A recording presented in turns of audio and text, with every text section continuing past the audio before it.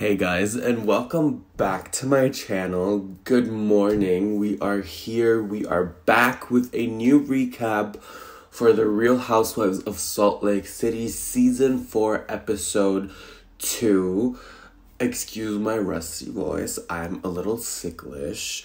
Um I have missed out on this recap. I'm a bit late because this week my vacation was over. I had my first week back at work, but I'm back. I'm ready. I am clocked in, and I have several thoughts about this episode. Let me tell you that I am hooked on Salt Lake City. I think they're doing a great job of pulling it all together without Jen Shah. And yeah, I, inquiring minds would like to know how other franchises are going to compare. But, anyways, we start off this episode with Miss Baby Gorgeous and Meredith Marks going on their little strut. They're going on a little walk because they do need to talk things one to one as Meredith asked Lisa last episode that they would get together to really discuss moving forward and leaving their tiffs behind in the past that had happened throughout season two and season three. So we obviously see a little screen grab from Lisa's hot mic moment that occurred in season two, where she literally did trash everything in Meredith's existence. Um, the both of them really seemed remorseful of each other and i really think that meredith and lisa are two individuals that just get it and they did what had to be done for them to not only move forward in their friendship but also to keep going on on the show as a dynamic frenemy duo that is definitely needed for this franchise. We then go ahead to bet whether Whitney and Whit Whitney, Whitney and Heather, they are taking a little, you know, salt bath. They are very relaxed and the mood is set for some juicy gossip. And let me tell you something every time they do something spa related in Salt Lake City, it just makes me want to leave my country and move there. It just looks so snowy, escapey, rich vibes. Amazing all around. So these two are discussing Lisa's son Jack going on the Mormon mission, and I was really shook when Heather said that they had to swear under death oaths that they would not reveal any details as such for that mission that they would do in private and I thought that was that is a bit problematic and I it's I mean no disrespect to any religion but it's definitely not my cup of tea. But we then jump to the iconic Mrs. Meredith Marks and to her husband Seth. They are discussing their marriage. They've been on a rocky path. They've opened up a podcast. I do not know if that was the best decision for them. I have personally not listened into it yet, but um maybe I'll give it a try. I really, really like Meredith as a housewife. I think she is unhinged and iconic and always dressed down to the gods. So they are discussing this upcoming vacation that they're going on um, with the girls. It's going to be at the Trixie Motel, the all pink resort, and it's looking fabulous on the pictures already. And I will touch on that later as they do show the girls arriving at their final destination. We then go ahead and give Miss Angie Katsanevas, I think, her first scene ever as a full time um, snowflake holder in the franchise. They are showing her beautiful home, Miss Angie K maybe a little thirsty, but she is coined down. Have you seen her home? Have you seen the decorum? Have you seen the outfits, the glam, the huge kitchen? Goodbye. This is what a housewife really is when she has a pretty penny to her name. So basically, she's talking about her husband and the way that they met at the salon, that he's a hairdresser, and that she fell in love with him because of that. And they have a beautiful uh, daughter and also a very cute dog. Um, they are making some salads in their kitchen. Cute family dynamic, I have to add. It looks good. Also, her husband is very handsome. Um, and yeah, I think that's about it the gossip is that she has the fear or at least the thought that she's being alienated from the group, but we will have to touch on that later as this will reoccur in the episode once again in a later point in time for Miss Angie Katsanevas. We then move on to Monica and her mother, and let me tell you something. Monica and her her whole self is just a big breath of fresh air to the Real Housewives of Salt Lake City because she discusses everything. She's laying it out all in the table. She's taking back the power of exposing somebody all to her own. She really said if I join a show, I might do it the right way. Um she's half Portuguese, half I think Dominican or Colombian. No, she's half Portuguese, half Colombian. So Miss Monica is seemingly trilingual, which beauty and brains, kudos to her. Um, we see her and her mother prepping packages for her brand, Bria Baby, that is all about cute um, accessories and like napkins for infants and children and babies and it seems to be going well for her. And even if she says that she does not have the goods that she, other housewives on this franchise has, and that she sometimes even feels inferior, I think for the way that she has handled herself financially, from what we have seen, the house is still cute. The house is pretty. Um, the children look very well put together so my heart breaks for her that she does feel inferior a bit, but I think it was nice for her mother to uplift her and even her daughter to chime in. And let me tell you something her daughter gives me Hadid sister vibes, very model esque. So who knows if we have another Bravo supermodel on our hands. But the two of them really were uplifting Monica, and Monica was saying that she went into the Louis Vuitton store to buy a bag to kind of play in the same field as the other housewives, which she really did shed a few tears and was raw, real, and vulnerable with um, us in the scene. Anyway, we jump back to Whitney and Angie, and we learn that the two of them have formed this unusual friendship. They've bonded really well. They seem to get along. Um, we have a couple dinner with Sean, Angie, Whitney, and I forgot Whitney's husband, Justin, I think is his name. They're all having a little couple dinner, a little get together, and what I found a bit robotic about this scene, I just do not know if it's just the demeanor of Angie and Whitney, um, they kind of seem to be a little hell bent on ruffling the other girl's feathers, which I mean, in one way is a little thirsty, but the other way it's a personal thank you from me because we do get an activated Meredith Marks next week and an activated Heather Gay and an activated group altogether. So I guess kudos to them. We then jump back to Monica, and she is meeting up with Heather. They are going to a boutique in Salt Lake, or I don't know, whatever city they are choosing to film in now.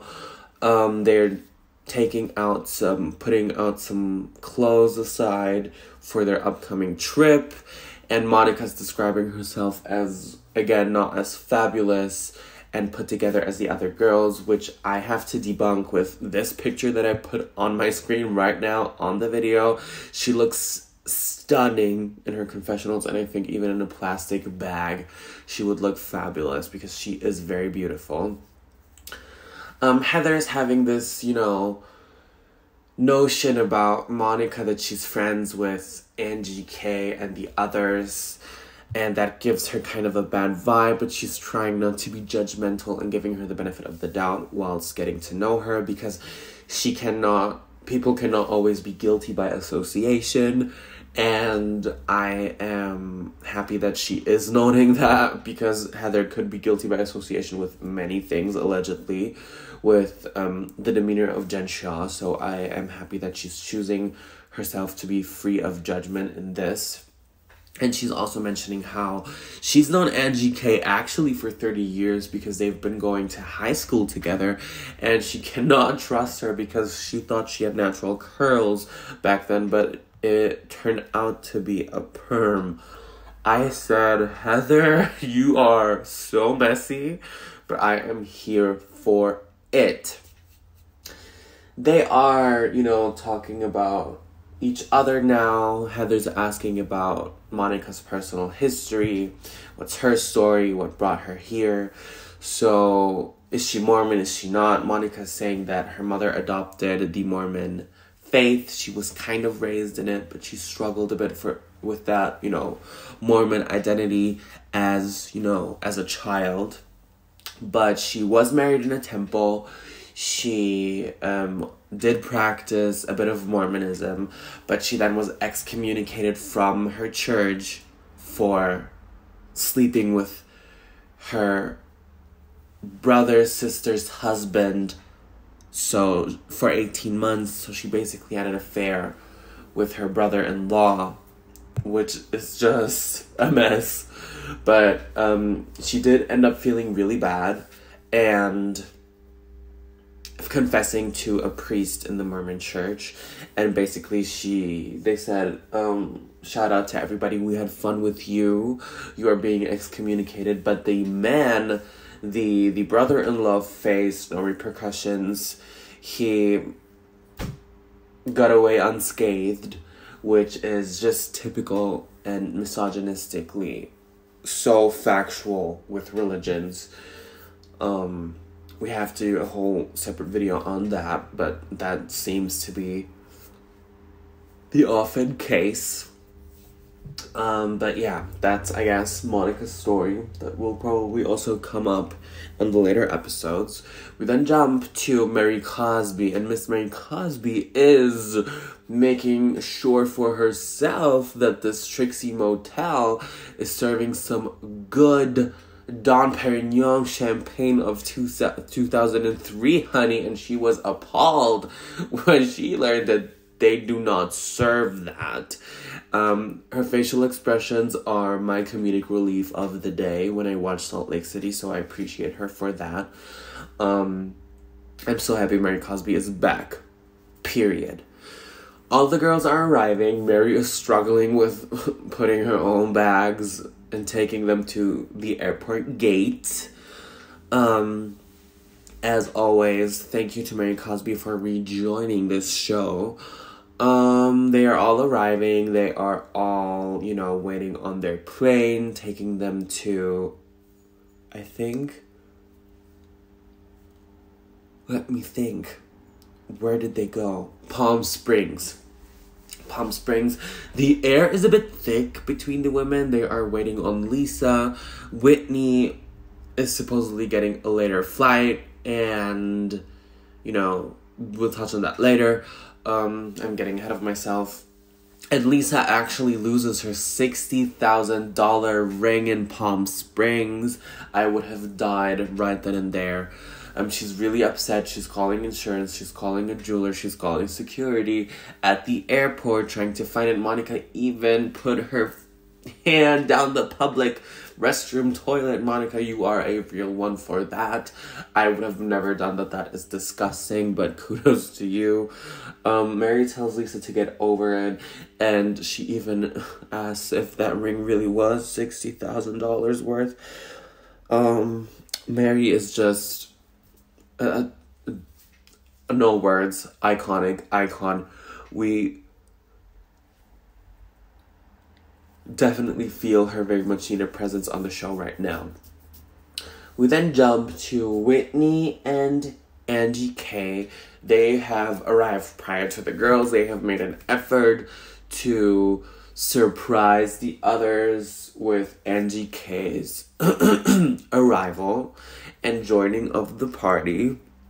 Because Meredith, the one that I think through this all, is did not invite Angie K, and that sits well with Heather and I think Lisa as well. No, not Lisa and um uh, Heather as well, because you know the rumors that Angie K spread about Heather that they were doing Barbie scissor kicks with Jen, and that's how she ended up getting the black eye a mess. But anyways, here's the Trixie Motel. It looks good. It, it it's I mean it's cute. It's pink, but it low key gave a bit. I I I myself am a bougie, very bougie person. I have high standards, but it definitely gave motel.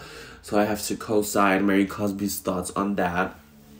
And Monica is giving in the agony of it all, Lisa a few chips to to just calm down, and Mary's like, "Can you not put those crumbs on my clothing? I do not like crumbs on my clothing." I mean, Mary has been here for a second, and it's just like she's never left. It's amazing. So. This is the closing scene. Everybody's arriving. They're checking in. Um, they're not really pleased with Angie K's, you know, joint arrival with this party. And then we have the preview for the next episode. And let me tell you something, they did Heather bad because I do not know if she peed or puked in that bag. I feel bad for her. She's had a few espresso martinis. The group is getting riled up. Everybody, everybody from A to Z is being activated. Angie K's throwing digs at Meredith. Meredith's threatening her with you can leave. Meredith is a very good uh, with the alcohol. Um, she's even taken Lisa Barlow backstage and talking about she can go there, she can go there with Angie K because Angie K, Angie K is going for the jugular and the rumors, the nastiness about her, honey she was swirling and uh, with her words and lisa was shook. I inserted a few pictures and lisa was looking terrified. She i think had flashbacks of you know the uh, other arguments with uh, uh, Meredith in the past, I think Sis was a bit shook. She's even holding her hair, holding Meredith's hand, and Meredith's telling her that she can tell Angie K to F off in the best New York accent that I've ever heard in my life. Those rumors that she's living part time in New York are never going to leave Miss Marks, but we still love her for that. Anyways, you guys, this is basically it for this episode. Um, I have about 20 minutes worth of footage of recap, and I rarely, even rarely with Atlanta, had that in early on like this in the season, I feel the workload already that I will have when further episodes are go- going to come out, but I'm here for it. I am so intrigued to getting to know Monica even more, getting to see these dynamics change and possibly grow or possibly be destroyed. Um the activation is definitely in Meredith's hands right now and in Angie K's. Um, I'm also curious to see how Heather and Whitney are going to be. Uh, you know, after their whole mess, uh, after these few seasons that they had about basically nothing, so I hope they do not repeat that stale storyline. But all in all, you guys, this was a great episode. Um, please like, comment, and subscribe. Hit the notification bell down below so you do not miss out from me anymore in the future. And I will definitely see you guys in the next recap for Salt Lake City or in another video. Bye.